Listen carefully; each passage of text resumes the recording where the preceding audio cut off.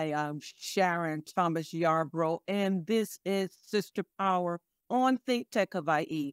I'm also president of Sisters Empowering Hawaii, Hawaii's foremost women's empowerment organization.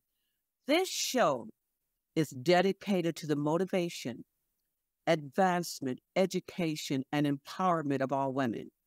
October is Breast Cancer Month.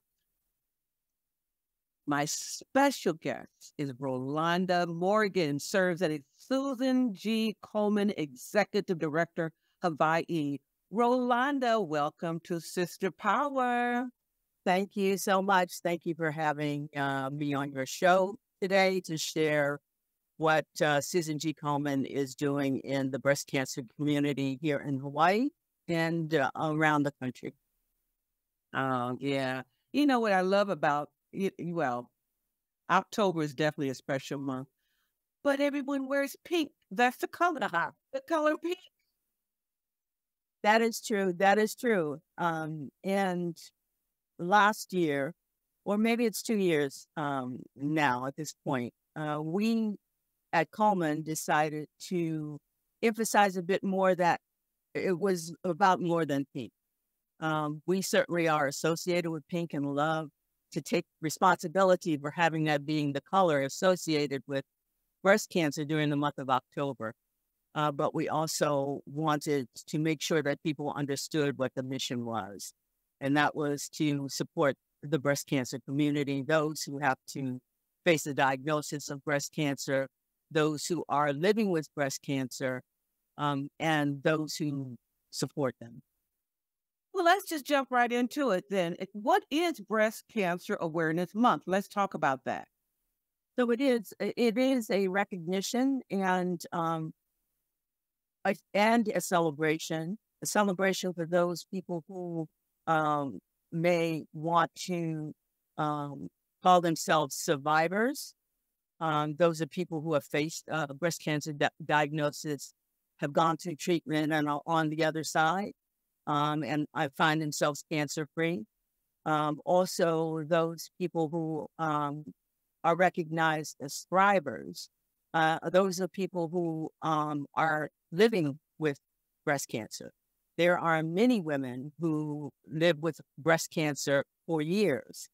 Um, that is why we have, uh, as an organization, who devotes um, more money to research to find cures and new treatments, point all of that research money, a great deal of it, 85% of it, towards looking for treatments for those who live with breast cancer, um, recognized as and understood to be metastatic breast cancer, meaning that the breast cancer, the breast, the cancer started in the breast. However, it has moved to other parts of the body. Uh, women can live um, many years, um, but they are on a roller coaster ride when they have metastatic breast cancer. There are good days, there are days that are not so good. Um, so we refer to them as um, as strivers. So they um, that part of Breast Cancer Awareness Month um, is celebrating the life of those people who are dealing with breast breast cancer. It's also um, making the public awa- aware of the things that can be done um, to bring the numbers down in terms of people who are having to deal with, with breast cancer uh, as a disease. And we've become quite successful actually through early detection um, and making people aware of the need for a mammogram starting at age 40. Um, one should have a mammogram annually. Uh, if you have uh, incidents of breast cancer in your family, um, you should speak with your doctor um, to find out when you should start to have a mammogram because it may be earlier than 40. But 40 is baseline for when every everyone should start to have their mammogram. And because we have um, been quite successful, both our organization and, many of those who are involved with um, breast cancer uh, in the women's health community, have made great strides in getting people to get their mammograms. So our incidence rates are down. Um, but um, we are still striving to find those treatments so that those with metastatic breast cancer can live better lives. Um, there is no cure, but we want to find the treatments that make their lives less stressful. And while we are still working on the ultimate goal, which is to find a cure for breast cancer. You know, you sent me some interesting information last night, and I want to talk about what is Stand for Her, a health equity revolution. Komen took a look at um, barriers that prevented um, the community at large from getting the highest level of treatment and preventative services possible in order to have effect on the numbers of people who are being diagnosed with breast cancer. What we found was that Black women had the highest rate of breast cancer in the country. So we focused on a program that is truly about a health equity revolution in total. So making sure that no matter where you are, no matter what you, where you live, no matter who you are, you have access to the best health care. Um, we focused on uh, African American women because the numbers dictated that we do so.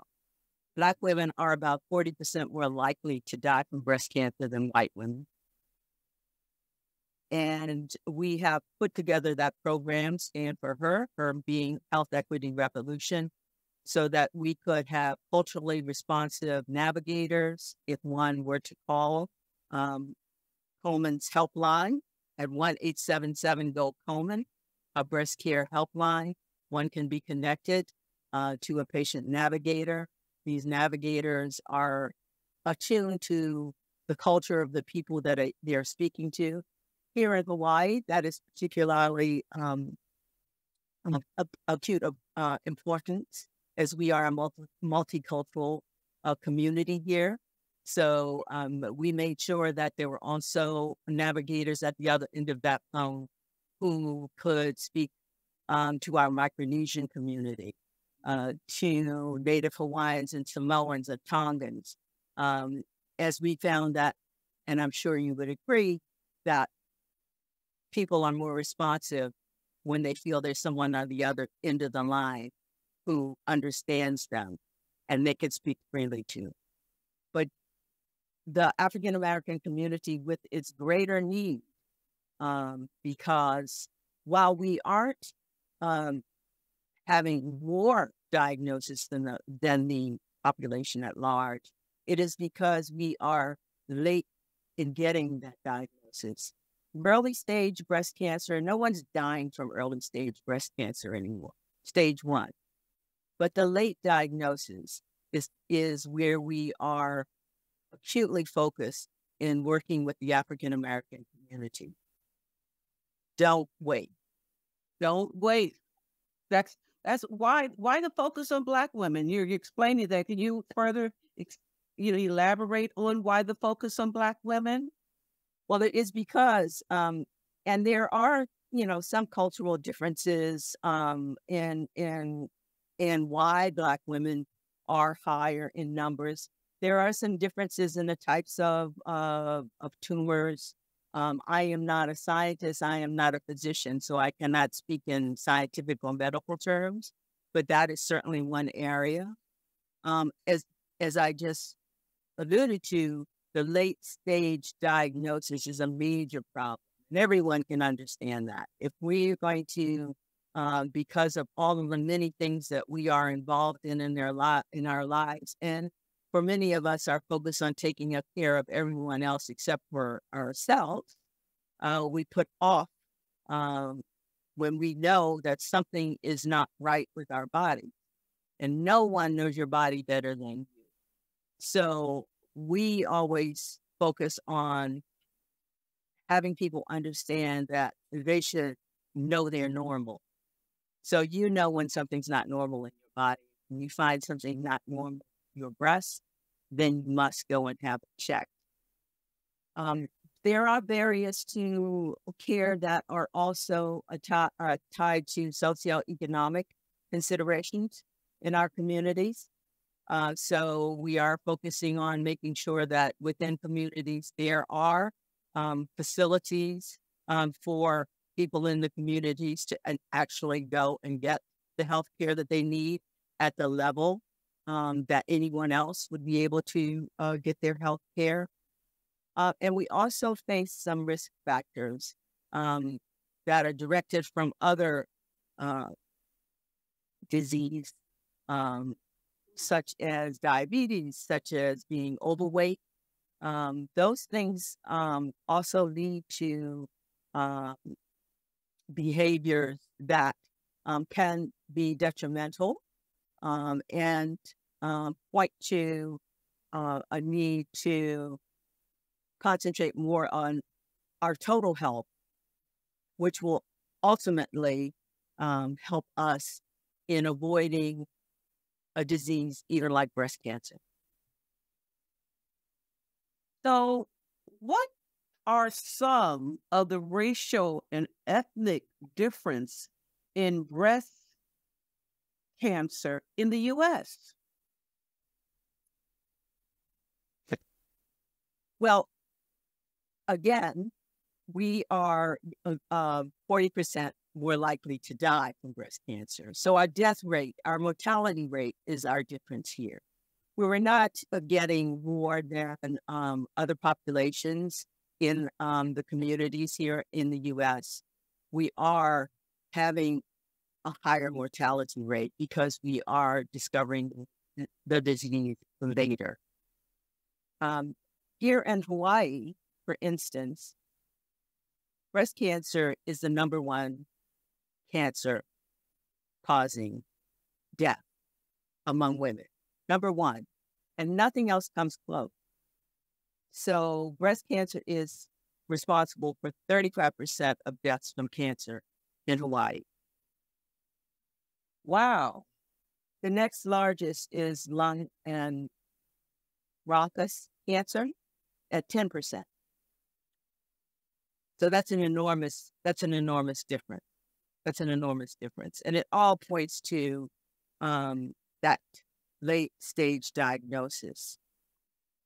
Early detection is is very key to survival rates where breast cancer is concerned now. Well, what are the unseen financial barriers that undermine care for breast cancer patients and how is Komen addressing them? Well, most recently, um, Komen released a white paper, um, and it was called "Making Ends." It's called "Making Ends Meet," uh, and we took a look at how the financial and economic uh, situations affect um, a breast cancer patient's ability to get um, the treatment that they need.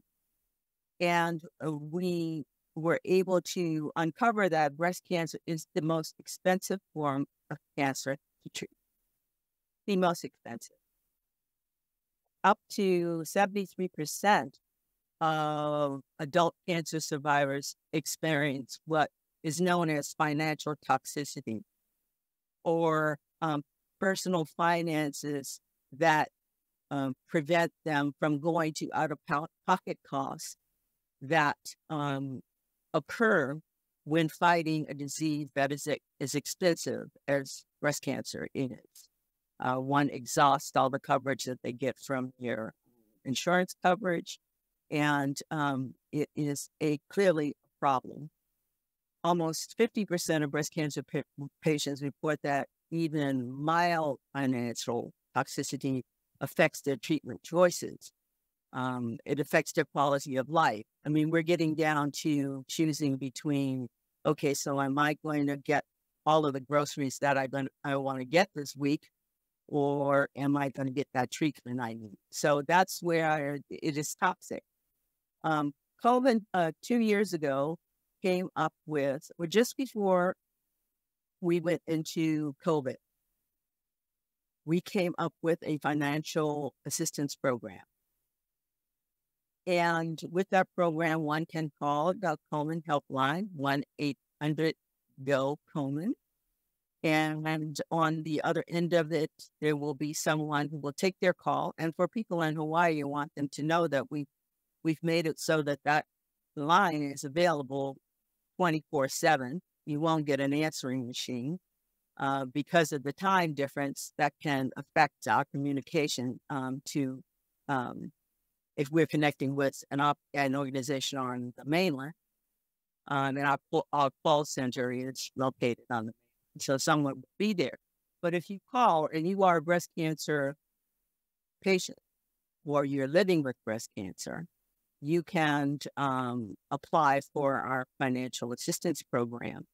And you can get from five fifty to seven hundred and fifty dollars in three days in your hands uh, to help with some of those things that prevent one, or to assist um, with some of the things of life that you need in order to um, continue with your treatment, um, to get to your treatment, transportation costs to care for your children if you need to get a babysitter to um, take care of your kids when you go for your treatment. Um, during COVID, we expanded the categories that we that uh, one could use those funds for um, to rent and and food. So it is truly financial assistance for those who find themselves in that um, situation where um, they need financial assistance in order to continue their treatment. We don't want that to be. We discovered um, through getting the information and doing research for this paper that that was indeed an issue with uh, people who were facing a breast cancer diagnosis and in treatment to getting the level of treatment that they need. So that's one of the things that Komen is doing. This is some great information that you know, I want the Sister Power viewers out there to share this video because this information that you're sharing, especially financially, is pertinent information. So let me backtrack a little. You know, you, you mentioned mammograms. Where mm-hmm. can women obtain free mammograms? Is there a place here that we can obtain a free mammogram? Well, almost uh, any any anywhere, any of the hospital systems, any of the um, the um, community clinics who provide that service, who have mammography, um, no one can, is refused a mammogram. So uh, that's a fallacy. Um, one can always get a one can get their mammogram. So that's that's no longer something that one fears that they can they will not be able to walk into um, a hospital or a place where treatment is available and not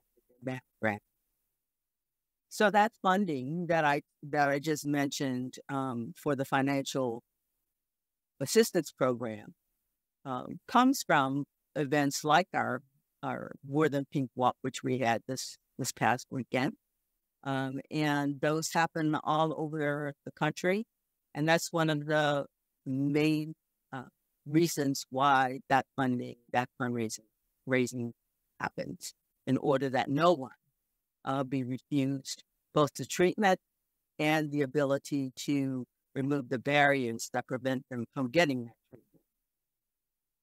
That's good to know. And I want our Sister Power viewers to know that we are going to do a part two on um, Breast Cancer Awareness Month with R- Rolanda. And I read, Rolanda, that you, um, let's talk a little bit about you. You, yeah, you started off as a volunteer. Yes, yes. Talk about that. So many, I, I'm not an, unusual in that in the Komen organization. Many, many people come to Komen um, as volunteers. Uh, I came as a volunteer uh, for the uh, race for the cure and participating in the race for the cure and moved here from um, New York. And on the day that I arrived here, uh, I the walk or the race at the time was happening in Kapiolani Park. I went down, and some someone who's in the organization recruited me to come help and become a volunteer. So volunteers are the the engine that drives um, Komen. Um, and they participate on many, many different levels, not only with our walk, we have um, advisory committees on all different levels, um, those who work uh, with our uh, legislators to make sure that women's health issues are, are, are brought before our legislators and uh, passed in order that we can have laws that protect uh, women's health. We, of course, are specific are particularly interested in those laws that cover breast cancer coverage, but women's health in the main. Um, so we have volunteers that work on that level. Um, so volunteering um, and and Komen sort of go hand in hand. And yes, that's what what brought me to the organization. And and after a few years have passed, uh, I'm now the executive here in what. Let's talk to our Sister Power viewers about ways to give. Let's continue. Let's keep moving it forward. Let's talk about ways to give. Mm-hmm. Ways to give are, are, quite easy and available all year. If you go to Komen.org, and there are many reasons to go to Komen, Komen.org. Um, one is to um, make a donation.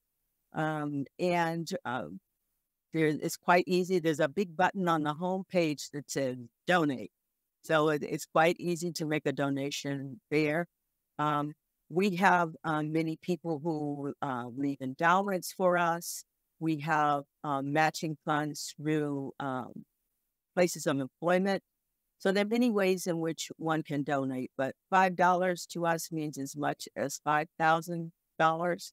So there's nothing too small or too large. Um, our support coming from from the community uh, has grown in such a way that we have been able to um, direct more than a billion dollars to specifically to research. There is no one larger. There's no larger contributor to breast cancer research. Give it, that means giving funds to the researchers who are doing the work to find the cure than Susan G. Komen, other than the United States. So that's one place where the funding goes. But um, Komen.org is also loaded with all kinds of education. If one wants to learn uh, breast about breast cancer 101, um, that's available on Susan G. Komen. All of our programs, Stand for Her, which we have just mentioned, we have a new research project called um, Shares for Cures, where the community can share their information in order that we get that information to the researchers who are doing um, the work.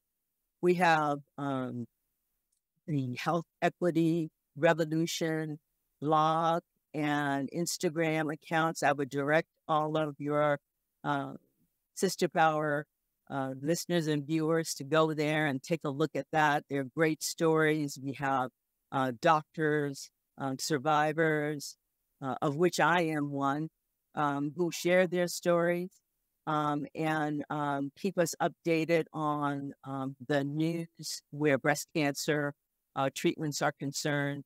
So there's a plethora of information there. It tells you how people can get involved and how they can keep up with um, this disease that is still touching far too many.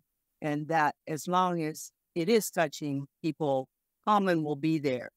Uh, we will be there um, on all of the levels through care, um, helping those who are in the community, helping others um, through the community, through our events that we have, like our walk, uh, like the gala that we have here in Hawaii um, so that we can uh, ultimately find a cure. That's good news. You know, just very quickly, we we have a few minutes left, but mm-hmm. breast cancer and women of color is misrepresented or ignored. Can you just expand on that a little more? Well, that that is why we started the Stand for Her program. So um, it is no longer ignored. It is no longer ignored. So there were 10 um, areas of the country that we really keyed in the program on because the numbers were the highest. And there has been great movement in those areas um, for seeking education, patient support that is at a high quality. There is workforce development under the um, Stand for Her program. There's also a patient navigator training program. so again, we can actually develop a, a, a workforce of people who can speak to the community and go to the community and take the message where they are. We have a program called Worship in Pink. So that also is a, faith-based program um, that many events happen in the churches in our in our African American. So while um, it has been ignored, as you say, while we have ignored it, uh, we can no longer ignore, and we are going to be there in the community to let um, folks know that um, you needn't go without help, that support is there, that you can get the services that you need, and that um, there is help for you to face a diagnosis if you are so diagnosed or if you are living with breast cancer. But in closing, Breast cancer is the leading cause uh, cause of cancer death in the U.S. for African American women. For all women. For all women. Okay. This is what this all about. It's for all women. Mm-hmm. So, Rolanda, please share with our sister power viewers some words of wisdom and hope. Well, I would say that, as I said, we are not dying from early stage diagnosis of breast cancer anymore. In order to detect an early stage breast cancer, one must know what their normal is, know their body, go and get screened. If you were 40 and over, the minute you turn 40, you start getting your mammogram every year. I know it's not pleasant. It's the best we have. It, uh, it has brought our detection numbers down. Um, but if we don't get that early detection, then we get into that late stage diagnosis, which is for our audience at Sister Power an issue we have to get to um, not wait. Go get your, go, go get screened. Screening is available. If you need help, if you don't know where to go, go to Komen.org slash helpline and find out in your community where you can go for help. Thank you for your words of wisdom, Rolanda. I'm Sharon Thomas Yarbrough. Thank you for spending your time with us. Aloha.